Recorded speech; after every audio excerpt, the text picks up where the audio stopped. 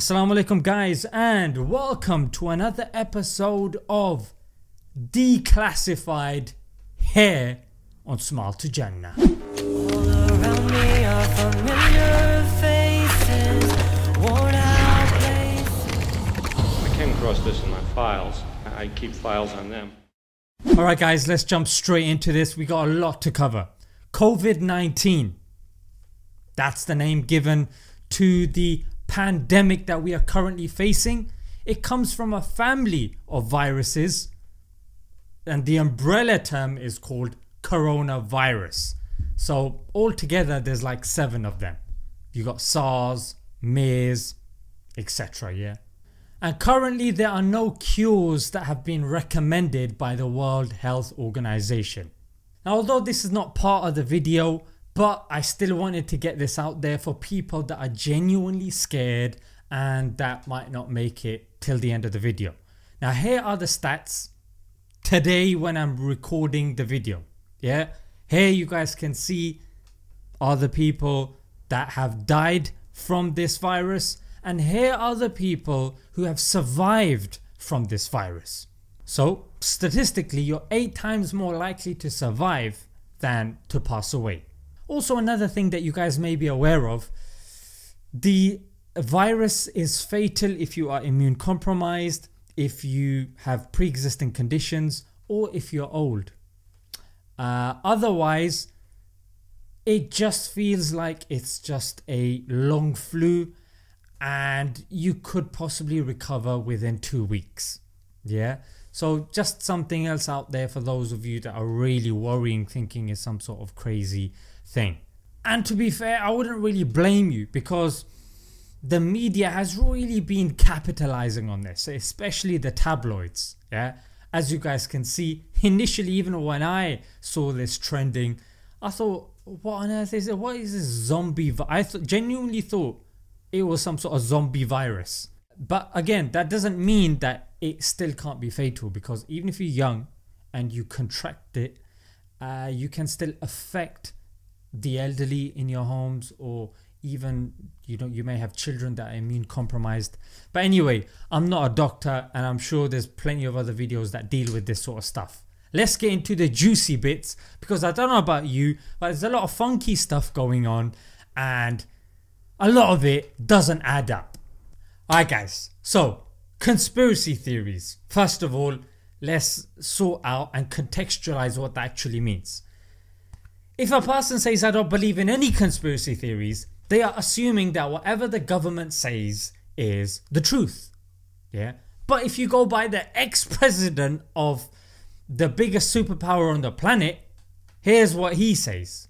Look, let me say, politicians have always lied. But it used to be if you caught them lying, they'd be like, oh man. Now they just keep on lying.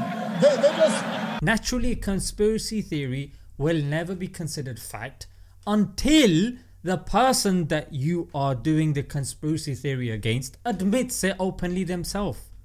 And that happens by governments in 30 to 50 years depending when certain documents become declassified. And we know many things have happened in the past and the governments ad admitted openly to it. Yeah, Be it MK Ultra, be be it trying to assassinate world leaders. Okay let's get into this now. Warnings and predictions. So you got Bill Gates. This guy has been at the forefront of warning the world about a looming pandemic. Here's a video of his uh, that he did 4 years ago on TEDx.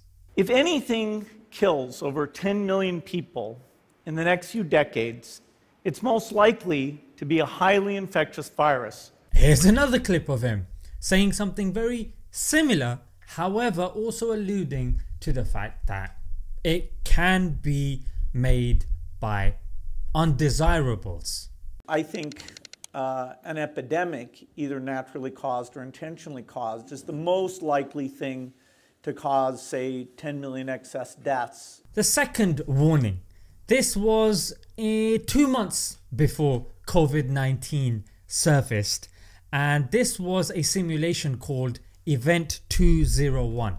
It began in healthy looking pigs, months, perhaps years ago. A new coronavirus spread silently within herds. Infected people got a respiratory illness with symptoms ranging from mild flu like signs to severe pneumonia. Experts agree unless it is quickly controlled, it could lead to a severe pandemic, an outbreak that circles the globe. The details of the simulation were eerily similar to what we are facing today. And number 3, even on Netflix there was a series called Explained. And in season 2 episode 7 this was aired one month before the outbreak and they also predicted that the next outbreak could take place in a live market in China. So what does this all mean? Bill Gates did it? Or Event 201 did it? No, that's not what I'm saying at all. So what I'm saying is Bill Gates amongst many other professionals have been telling us that this is going to happen. It's only a matter of time and let's be frank we are not ready for it and if it does happen it's going to take ages to come up with a vaccine and millions will be affected. We're not ready for the next epidemic. Uh, and that it's pretty surprising how little preparedness there is for it. There are only three things that are inevitable in this world death, taxes, and flu pandemics. We've done the math on this. We estimate there are about five new emerging diseases happen somewhere on the planet every year, and that rate is accelerating. So it is inevitable that they will become pandemics. Alright mate, calm down yeah, let's, let's, let's relax there for a minute yeah. What these guys are doing is like saying You know what, guys? The back door of our house, there's no lock on it, mate. There's no lock on the back door. A thief can come any day, mate. A thief can come any day. Guys, we're very vulnerable through the back door, mate. We need to do something. The back door is very vulnerable. Guys, if somebody comes in through the back door, that's it, we're finished. All of our stuff is at the back. We're gonna lose thousands, mate. We're gonna lose thousands. naturally you're thinking Bill was just warning us and I'm sure he was yeah but there are people that are going to be watching this and going hang on a minute it's going to take years to recover from that people aren't prepared for it and people know roughly where it can start from so there's gonna be no kind of suspicious circumstances this is a brilliant setup for a criminal mastermind He's literally done all the, the, the blueprint is pretty much there. Reuters has reported this yeah. It's, I'm not just picking this out of my pocket. So Reuters says that Israel was working on a strain of coronavirus called the avian flu. Yeah. Now because they were working on that it makes it easier for them to develop a vaccine. Well isn't that just a healthy coincidence? Hmm? It's also curious that at the time of recording this video Israel has zero casualties. Coincidence? Maybe. I'm not saying that these guys are responsible for. I, I don't know who's done it. Again I'm just putting stuff out there that is questionable. Yeah that should be looked into. I don't know I don't know what that implies or what that means before I get called anti-semitic. Right let's move on to the main part of the video. Who benefits from all this? There's a saying it says if you want to find the culprit of anything ask who benefits from this the most. Num let's start off number one western nations yeah in particular America. When it comes to biological research and biological weapons the US is ahead. When it comes to using biological weapons in the past yeah there's many incidents here is an article by Business Insider that talk about the US uh, testing germ warfare on their own people. Yeah, in particular their black citizens. If America is cheesed off alongside other European countries, is a, if they are cheesed off with China and Iran, lo and behold, where did this virus come from? China! And who are the top two countries that are suffering the most? China and Iran. Coincidence? I don't know. Number two, the elite. Now, living in the UK, I'm often thinking, why on earth is the government so slow? Yeah, amongst many other countries. But upon reflection, when the undesirables of the community, as seen by the elite, are they're, called leeches, yeah, leeching of us old people, uh, the weak people, and the ill people. So this disease, this disease randomly pops up, and lo and behold, it's just attacking the quote unquote undesirables. I'm not calling them undesirables, but these people are, yeah, and it fits in well with the whole depopulation agenda. Now, before you guys start saying flip headache, this guy's getting into a mad one, let me give you an eerie quote by Prince Philip. Yeah, from Prince Philip of the UK. This was his quote from 1988, and the reference is The Guardian. Let's see, let's see what he said. Yeah, in the event that I am reincarnated, I would like to return as a deadly virus to contribute something to solving overpopulation. Now, some people might say it's a joke, but it seems like a very eerie, well calculated, thought out joke. What do you see as the biggest challenges in, in conservation? Uh, the, the growing human population. And naturally, he's not the only one that said this, but I need to then find their quotes and the references, and it's long, yeah. Number three, the people that stand to gain are certain industries. You ask yourself which industries are making the most during these lockdowns. You've got supermarkets that are making loads of money. You've got these big corporations yeah, by doing these online conferences and stuff, media, these these platforms like Google and Microsoft. You also got Netflix and music uh, platforms that are making a lot of money. Now naturally you might be thinking yeah but I don't get the link like what's the Prime Minister or President getting from this? Well those of you that follow just just basic politics if you and I or whoever was to run for leadership we would need funding. And we would get funding from these corporations. Yeah? They give funding and backing to certain people that they hope will win. In the hope that when they do they will get favors yeah in return. And naturally if I was a supermarket and I mean every day my stock is being sold out I'm I am making millions would I want this to be solved quickly or would I want it to be dragged on for a little longer? Well of course I would yeah but obviously if I was sick in the head it goes without saying. Don't you think that these people would capitalize on something like this? Of course. And fourthly and this is my favourite point that I actually start off with but I've left it to the end and I don't know how many of you have stuck around and that is the governments regardless of whatever governments but more specifically western governments. Now bear with me here yeah because this is a genius point frankly. Governments want control.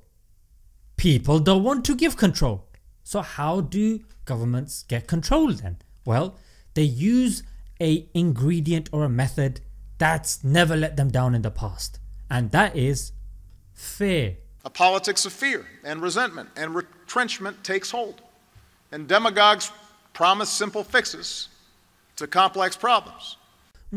It's like the secret ingredient of governments. They love you know using fear to manipulate the people into giving up their freedoms and giving up autonomy and giving up you know other things their ethics ideals or whatever just so they can feel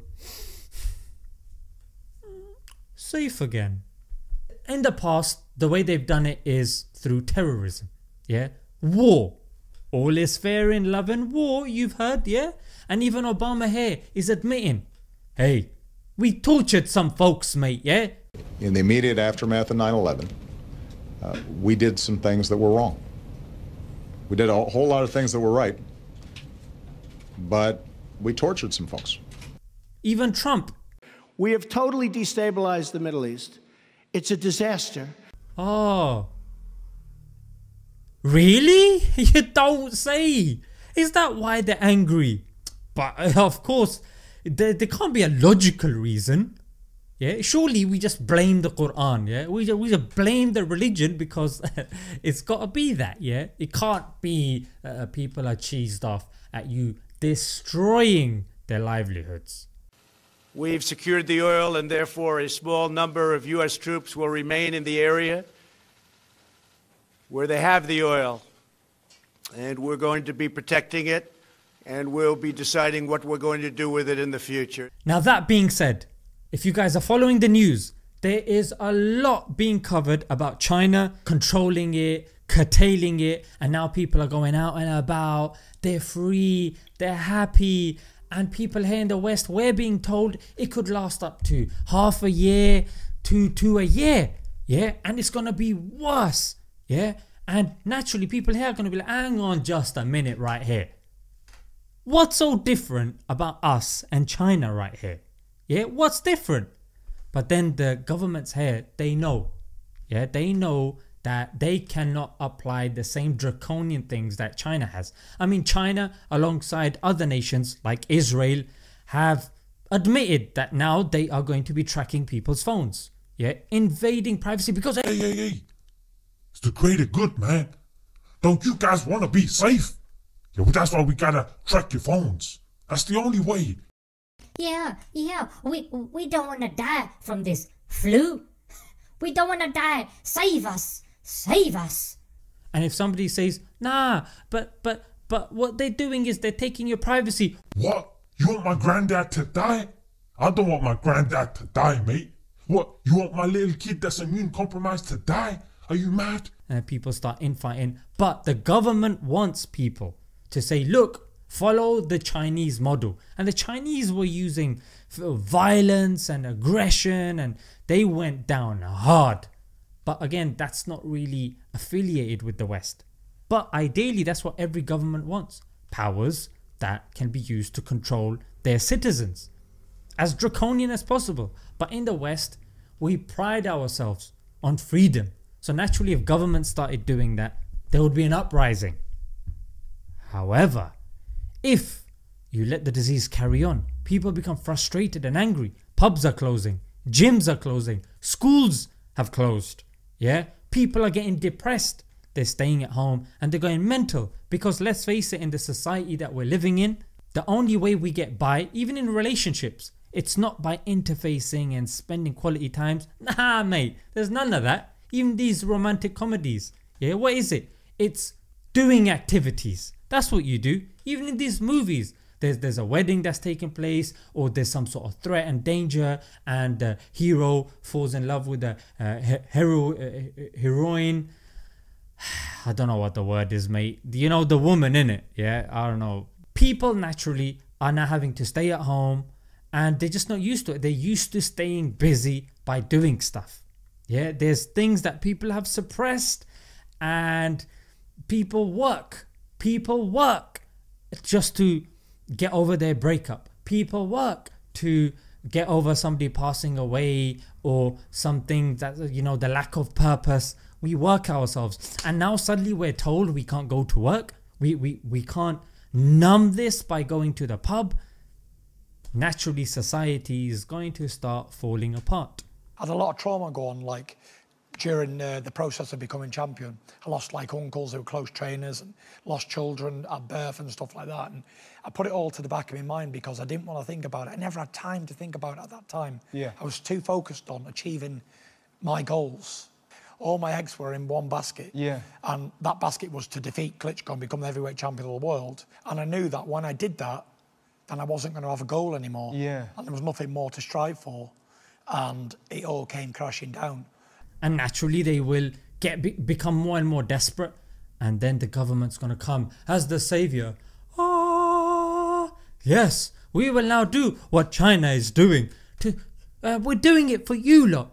But the problem now guys is this. And this is what the experts say that when the governments bring in these draconian measures for certain uh, situations When that situation passes, the draconian measures remain behind. And that's where these dystopian movies that have predicted such things, like Equilibrium and um, The Giver and Elysium, V for Vendetta, Matrix, all of these seem eerily prophetic. Yeah, we as Muslims know that society will become worse and worse and worse till ultimately the ultimate depiction of evil personified will arrive and he will be called the Antichrist or the Dajjal. Now, naturally, before he comes, things naturally will become worse. Yeah, it only makes sense. Now, I don't know about you, we seem to be going through a very interesting turn in our history. Pubs have never closed, not even during the war. Even the Kaaba, no one can go near the Kaaba. The mosques are now closed.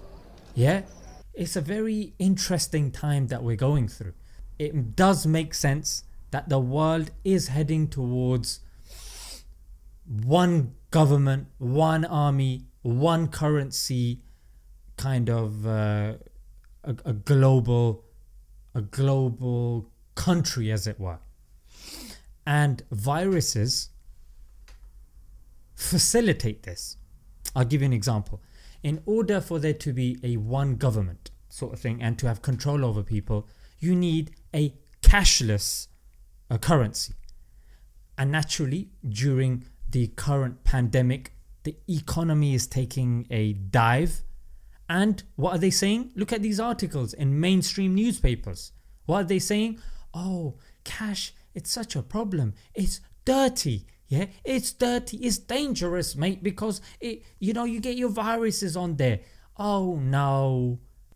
Online currency seems to be the logical solution. Yeah, logical solution. But the problem with that is it depends who has control of that. Yeah. Your wealth can just be deleted or inaccessible to you if you are an undesirable in the community. Yeah, if you're anti-government or whatnot. So that's that's one aspect. Yeah. The other thing is we still somewhat have freedoms. Yeah. But there are certain chemicals that can control us yeah, that can subjugate us. Now, without getting into um, these sorts of things, it, uh, even when you watch these dystopian movies, yeah, Equilibrium or The Giver, the way they control society is by having regular injections of these sorts of things. Yeah, so um, naturally, what people are going towards now is once a vaccine comes, there's already discussions of making it obligatory. In fact, even the previous um, vaccinations have become obligatory. Anyone who speaks out against them is censored. In fact, even on YouTube and on other sites, if you speak out against vaccinations, yo, you, you just can't do that. Ultimately, you get people to say, yo, if we are to stay safe, we need regular injections. At the moment, obviously, it's it's not that serious, but from the warnings that you've heard from these experts, they're saying we need to get ready for loads of these diseases to be coming now. Yeah. And when they start becoming more and more severe and more and more traumatizing, people are, are going to give up many of their rights until it's just you, you're just going around putting stuff in your body and not asking why. Every other year, democracy takes a hit. Ultimately the the 1% the elite those in power whatever name you want to give them they want something called an, a new world order. Uh, create uh, uh, a new world order. We have before us the opportunity to forge for ourselves and for future generations a new world order there's a need for a new world order but it has different characteristics Never before has a new world order had to be assembled from so many different perceptions. Bush kept said, and it's a phrase that I often use myself, that we needed a new world order. A new world is emerging. It is a new world order. I strongly believe India will be a central actor in the new world order. There you go. And this rise in technology that is facilitating smart cities, AI, and you know virtual reality or, or Neuralinks, you know, going into your brain or having chips in your in your hands. These things are now slowly becoming a reality. But the more technological we become, the the more it means that these systems can be hacked. They can be controlled. At the moment, it's very difficult to control. Yeah, sonic waves and this and that. But if things are done using technology, it's just so much more easier, frankly. You know what I'm saying? Those people that have held fast to the rope of Allah, you guys will notice living on less, staying at home, not relying on constantly doing activities,